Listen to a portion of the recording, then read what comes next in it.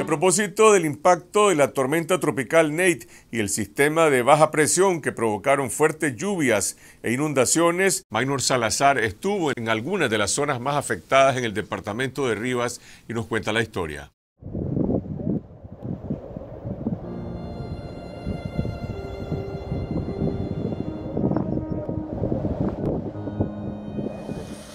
Alberto Castillo construyó esta casa con ilusión para vivir con su esposa y sus hijos. El desborde del río Chomogo dejó su hogar inhabitable. El río se desbordó y no los dio tiempo a sacar muchas cosas, se lo mojaron todo. Y se lo perdieron cosas. La familia de Alberto fue afectada por el sistema de baja presión que azotó la parte sur del Pacífico, en los municipios de Rivas y Granada. Al mismo tiempo, la tormenta tropical Nate golpeó el Atlántico y ocasionaron 16 muertos y miles de damnificados al cierre de esta edición. Todo el mundo asustado por aquí, buscaban por agarrar a lo más alto.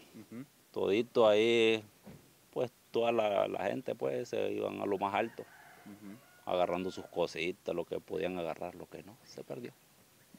La gallina, chancho, se perdieron. Alberto perdió todo en cuestión de segundos. Reconstruir su casa tomará tiempo y necesitará mucha ayuda de las autoridades municipales. ¿Qué espera usted de parte del gobierno municipal y del gobierno central después de haber sufrido pues, esta afectación en su casa? Que me ayude a hacer mi casa ponerlo un poquito más alto, rellenarla bien para que, para que para estar un poquito más alto.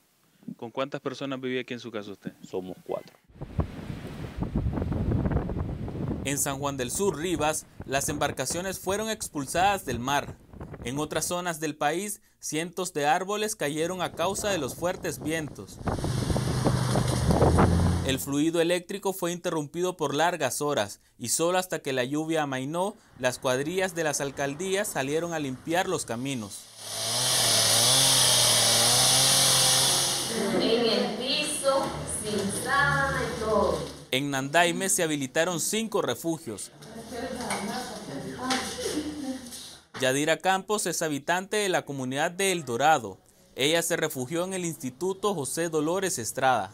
Se montó lo que fue la casa, el patio, o sea, primero el patio y se metió lo que fue el, el, corredor. Pero estaban sacando agua del corredor y no habían visto que estaba inundado más adentro. Como vemos en el suelo, se nos mojó la ropa, las cobijas, todo se nos mojó, quedamos completos. En este lugar ha recibido atención médica y comida, pero todavía desconoce si podrá volver a su casa. Aquí no lo han dicho nada, lo que han estado pues sí visitando, dando cositas así, este, que un trapito, que comida así, pues para que han estado visitando bastante ellos. El centro recreativo El Nandaimeño también abrió sus puertas a los damnificados. Elena López vive en el barrio El Plantel. Esta situación que vivimos aquí, hace unos tres años la vivimos. Hoy volvió a pasar, pero hoy ocurrió peor, porque arrasó con todo. Usted puede ver cómo arrasó con todo, arrasó con letrina, los, alambres de la luz, eh, los tubos de agua, estamos sin agua, estamos de viaje sin nada. Donald López no quiso abandonar su casa en el barrio Jonathan González.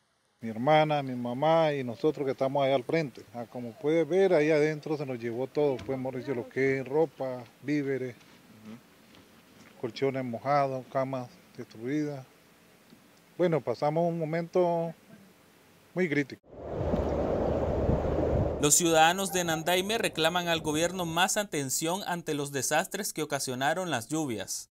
Hasta la vez no nos han dicho nada, solo nos sacaron, aquí estamos y no, no los han dicho que a dónde los van a ubicar, o lo vamos a estar allí o, o, lo van a sacar, no nos han dicho nada, porque esperamos que alguien nos diga algo para nosotros darle la respuesta, porque necesitamos que alguien nos apoye de esta manera. Nosotros esperamos que nos, nos saquen de ahí, porque como allí supuestamente área verde, entonces queremos que a todos los del otro lado del plantel que nos saquen de ahí, porque ya son cuatro veces que se nos va metiendo con esto. ¿Esta vez fue peor? Esta vez fue peor, fue como nunca. La temporada de huracanes se extiende hasta noviembre. En tan solo esta semana ha causado daños en 14 departamentos, 73 municipios y 682 comunidades. 6.848 familias han sufrido sus efectos y más de 2.000 ciudadanos se han mudado a refugios sin saber cuándo volverán a sus casas. Gracias por ver este video. Si les interesa conocer más sobre el periodismo independiente que realizamos, los invitamos a suscribirse a este canal para recibir todos los reportajes y entrevistas de esta semana, esta noche y confidencial.